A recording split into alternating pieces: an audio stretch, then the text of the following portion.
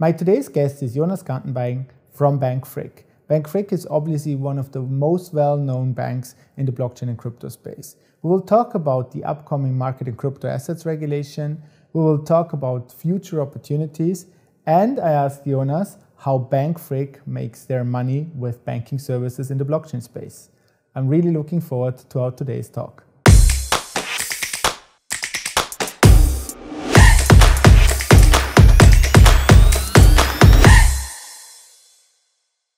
Hello and welcome to Coffee from the Block from the House of Blockchain in Liechtenstein. My today's guest is Jonas Gantenbein. He is the head of digital assets from Bank Frick. Welcome to Coffee from the Block, Jonas. It's good Thank to have you. you here. Thank you for having me. So you are one out of almost 40,000 Liechtenstein inhabitants, and not only inhabitants but Liechtenstein citizens. And you live in Mauren, or you are originally from Mauren in Liechtenstein? One of the few, yes, but not living in Mauren anymore. I uh, traveled all all the way through the country to uh, Triesen now, To Triesen, all the way the other the other side of the country. Okay, but it's a it's a rare species, or Liechtensteinians are a rare species. Yes. So Jonas, you're now head of digital assets at Bank Frick. Um, how did you end up at Bank Frick, and what does a head of digital assets do at a bank? That's a good question. Um, I'd say my journey has not been as straightforward as others. Um, I I studied uh, business administration, um, economics. Um, I'm an economist by trade, um, and did that until 2013. I back then was also engaged uh, in professional sports. I did bobsleigh for the, the, the Liechtenstein national team. What is And that? You bob- did bobsleigh? bo- bobsleigh, you know the the cool runnings, uh, Yeah. uh, the the Jamaicans. Uh, we did that for Liechtenstein. Did you win anything? Were you like Uh, yes, we won some uh, European Cups and some America Cups. We participated uh, in World Championships and uh, also we qualified for Olympia to 2010. That so? was You're the cool runnings of Liechtenstein. even better, I'd say. Even better. Okay.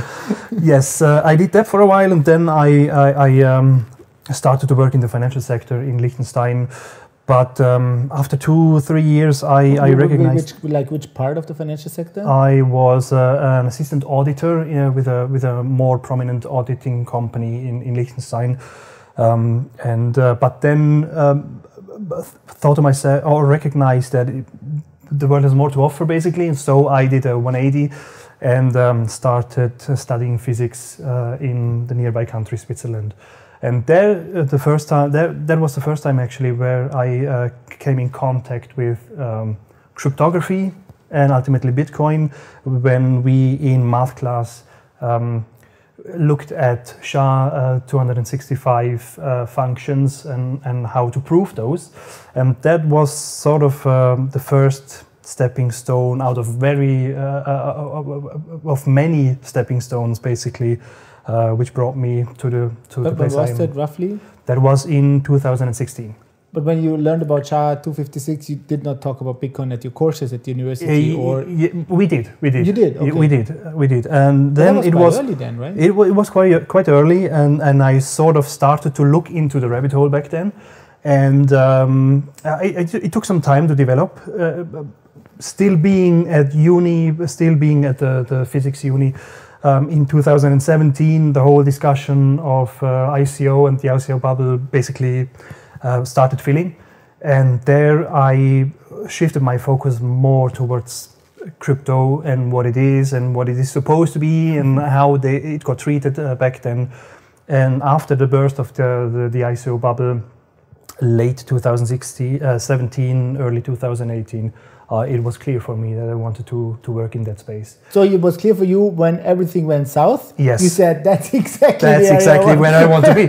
Okay. That's exactly where That's I want to be. And and decision. and uh, also there are a lot of you know back then the the focus and today still is the, the, the focus was very very um, nuanced on the speculation aspect of those Mm. tokens of those uh, digital assets and i never quite fully understood that because ultimately it's an infrastructure piece blockchain Mm. as, um, as itself and uh, i thought back then because coming from uh, economics and knowing how, how financial institutions work um, uh, I, I thought to myself that that's an infrastructure piece I we could leverage and we should leverage in the future. And that's how the journey started. Also, then with Bank Frick, I came back uh, from uni and um, started right uh, right after. As soon as possible, um, I got a, a, job offer at Bank Frick, and I started then in in 2019. And what was your first uh, job description? Uh, it was a project development uh, in blockchain. So I was tasked with leading projects um, over innovative um, um, blockchain, you know, efforts such as tokenization was a topic back then, still is, of course, but was a big topic back then. Um, custody, we had to sort of find a framework that was banking grade, and that's how not how we did that, uh, uh, custody back then. And those topics, I I, I, I, would say my experience uh, stems today stems a lot of those times where we really got a time in a banking environment to look at things and look at uh, the infrastructure blockchain could provide.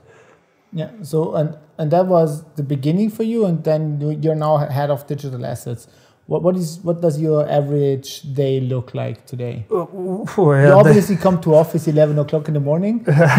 exactly. No, I head off. Uh, I, I don't need to show up early.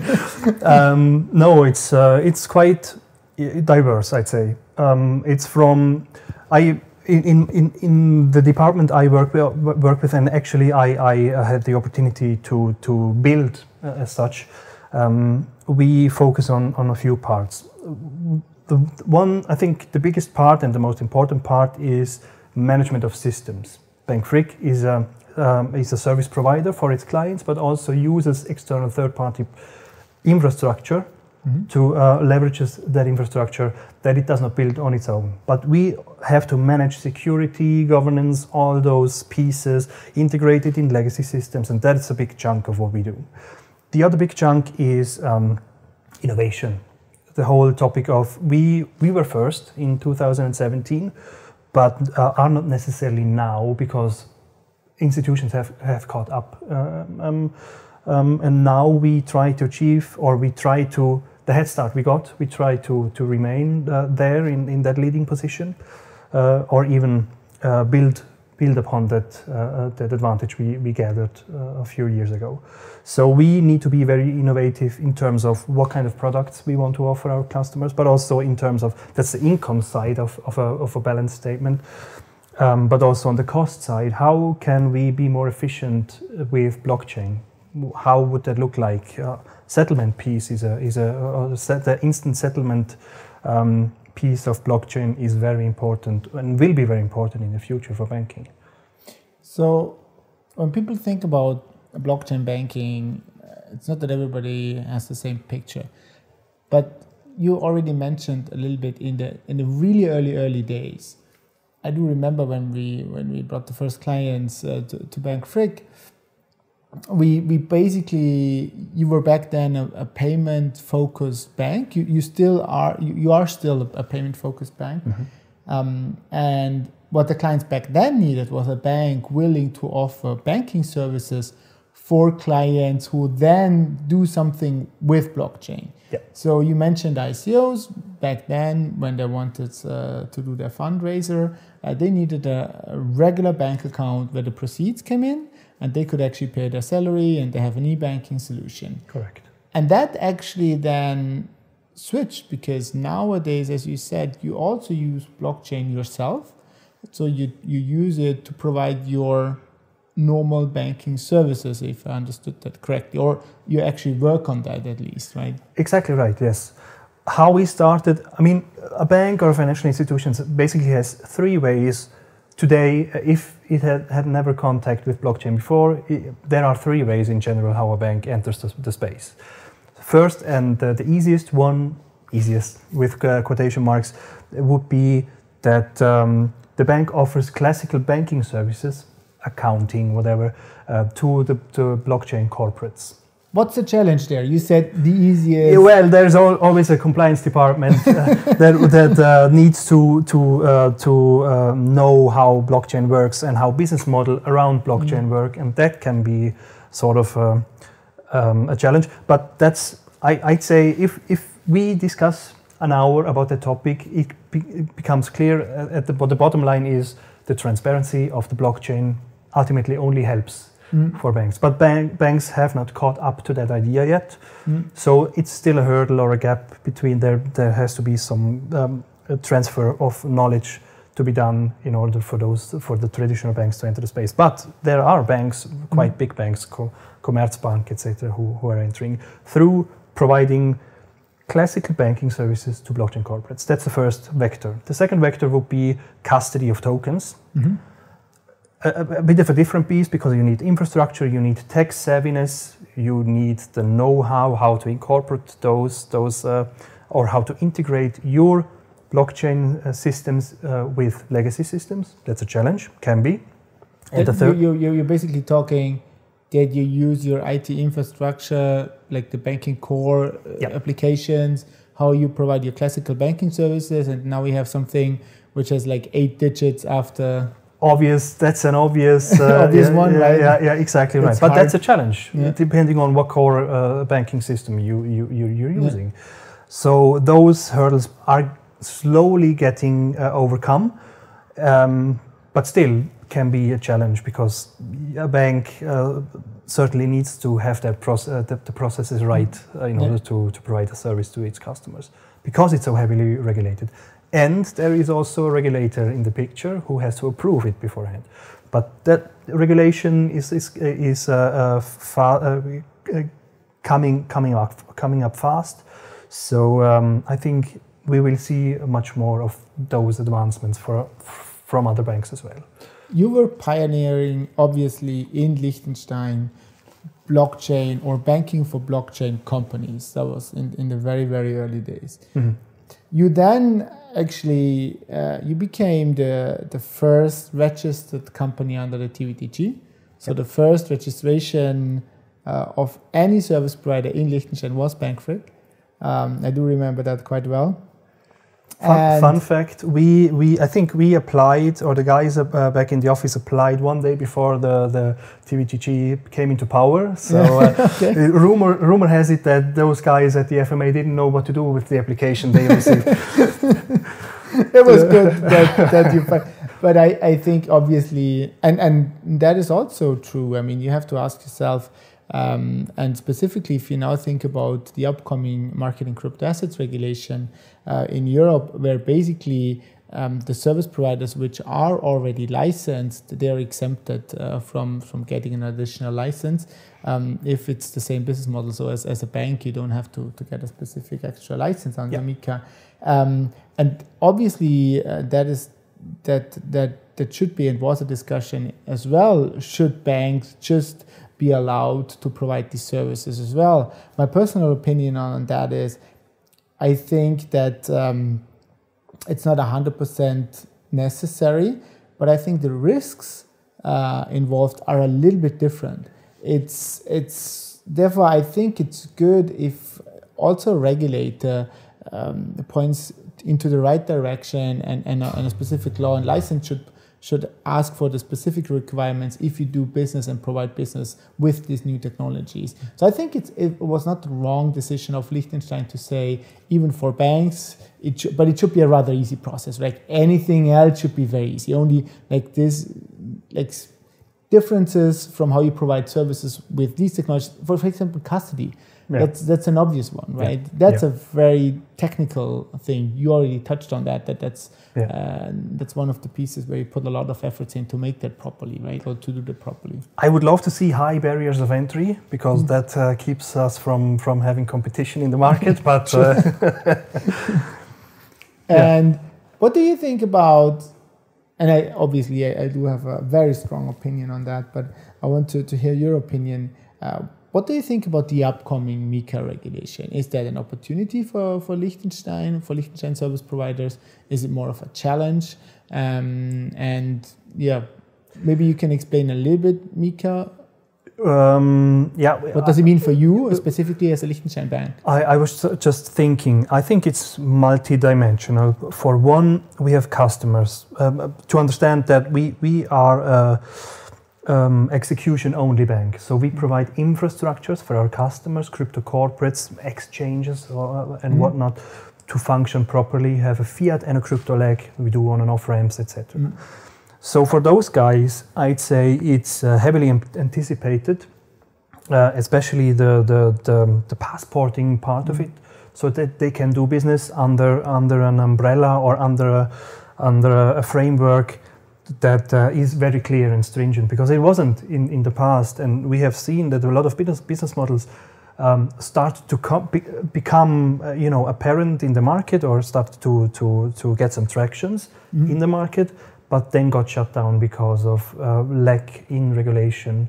Especially for us, um, uh, depending on the business model, of course, it was uh, from time to time very hard to accept customers mm. because of if you're dealing with crypto, you're already high risk, very high risk. If there is a, there is a, a, business model involved with um, certain factors like uh, jurisdiction mm. or, or um, you know complexity, and we we saw that missing regulation was um, oftentimes the, the, missing link for those guys, for those companies to operate properly and to passport or to, to open their services to, to a, a EU market, for example. Let That's me, going to change. Let me just uh, try to explain that a little bit better for those of, of you who don't know about passporting and, and, and what the concept is. In the sure. European uh, Union framework, um, if you have one regulation which is applicable in all of the European Union, European Economic Area member states, uh, Liechtenstein is a part of the European Economic Area. If you're licensed in one member state, you can also uh, provide your products and services based on these passporting principles to all of the other member states. So, coming back, for example, to the banking example, Bank Frick as a Liechtenstein bank could passport its banking services uh, to all of the member states, and the same would, will be applicable under the market in crypto assets regime.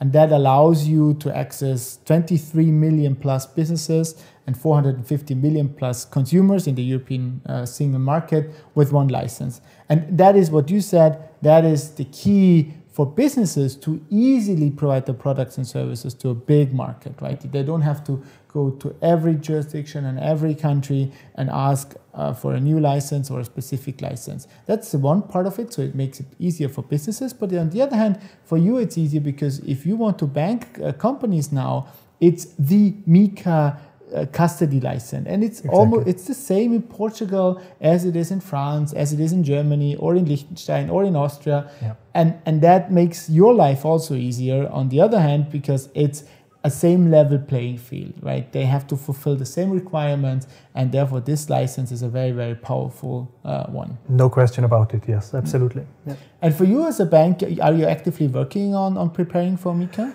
Yes, we do. Uh, well, it as far as it does concern us with our own infrastructure. There are parts of it, uh, such as staking, for example, or DeFi, we are looking into as of now, mm-hmm. how we could leverage those, that aspect of blockchain.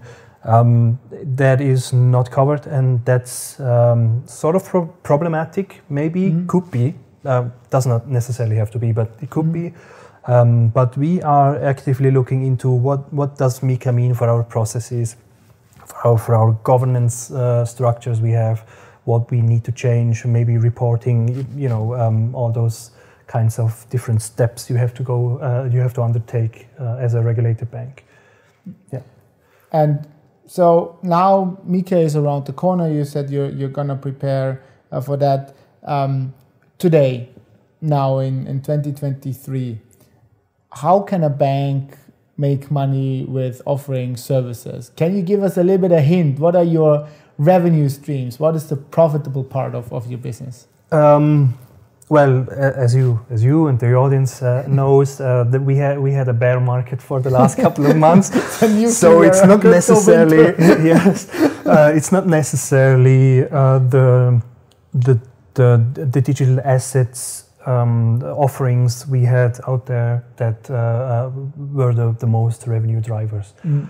We we've come from a place we, we were founded in for 20, 25 years ago and we were founded as a private bank slash intermediary bank heavily focused on intermediaries locally liechtenstein east, uh, eastern switzerland.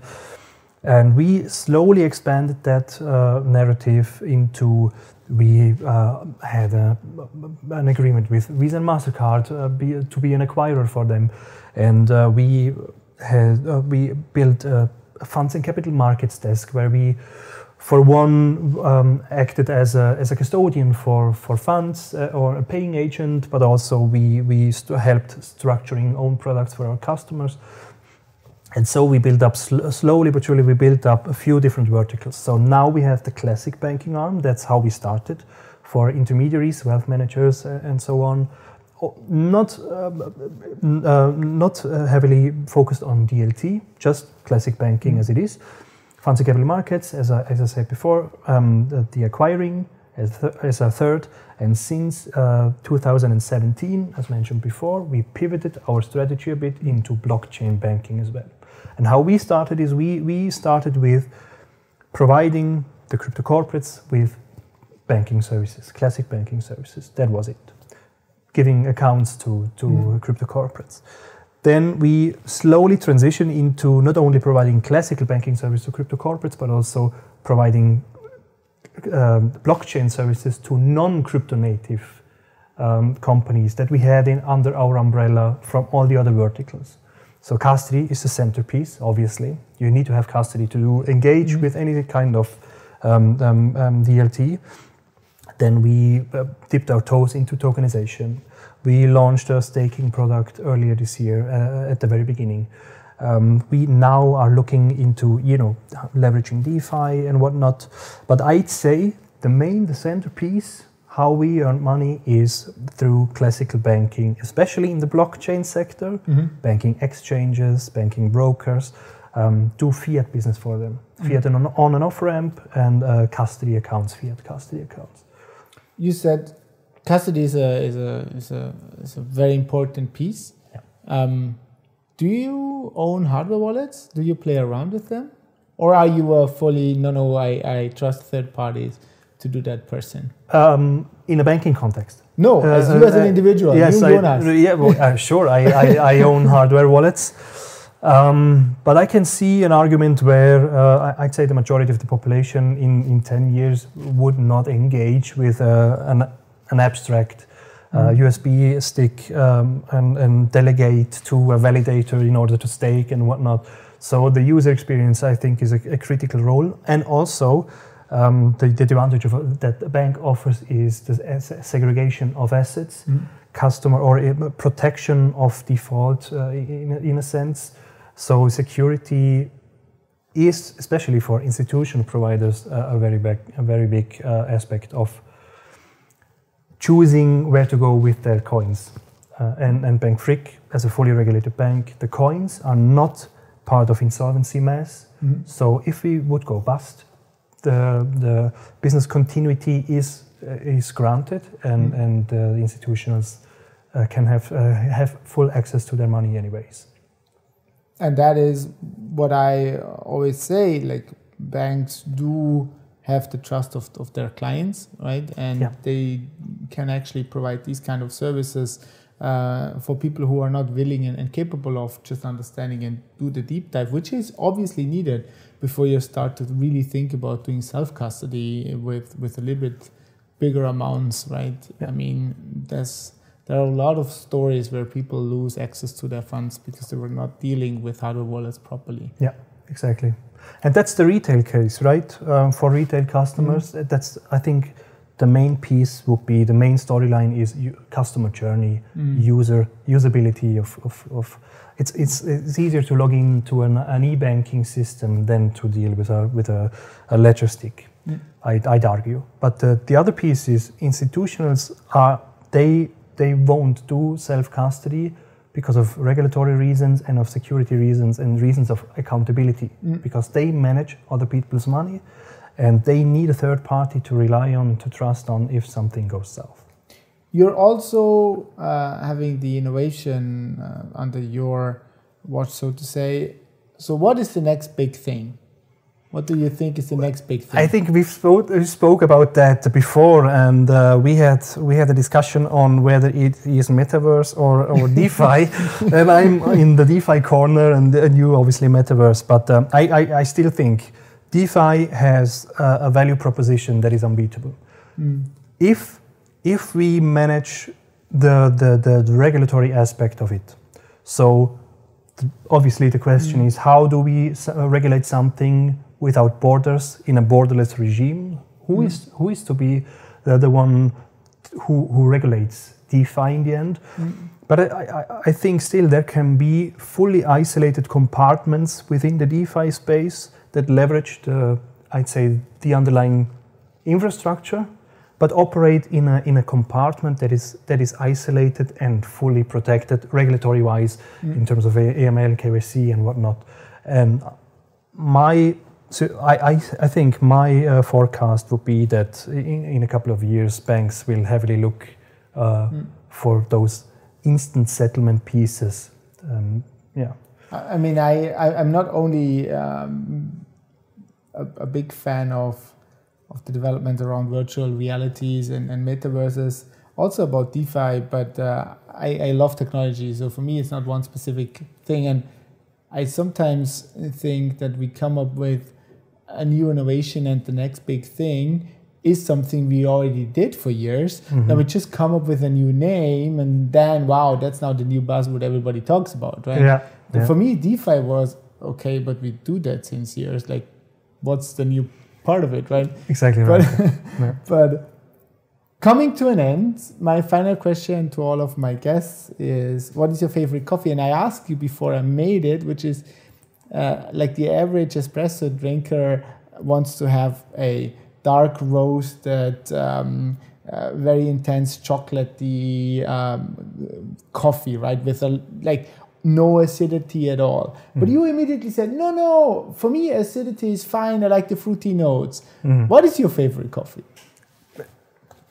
I'm a, a passionate espresso drinker, and I'd say the the more Italianesque it gets, the better. Mm, So I, I like it uh, very strong and, as we said, dark. Nice.